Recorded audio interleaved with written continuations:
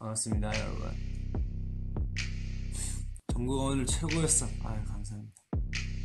여러분들 덕분에 최고라는 소리를 듣네요 제가. 방금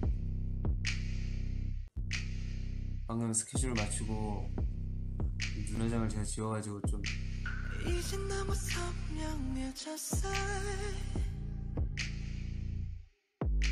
저 하루 속에 낯선 그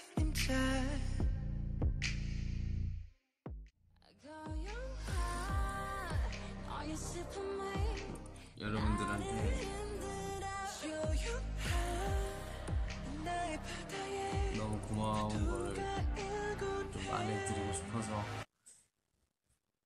그냥 바로 그냥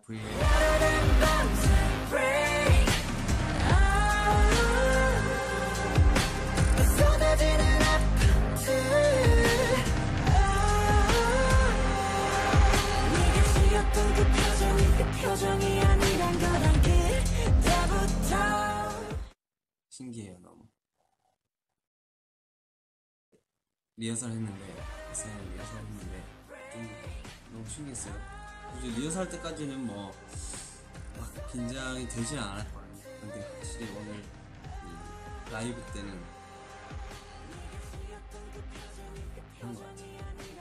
어쨌든 또 워낙 유명하고 큰 방송이니까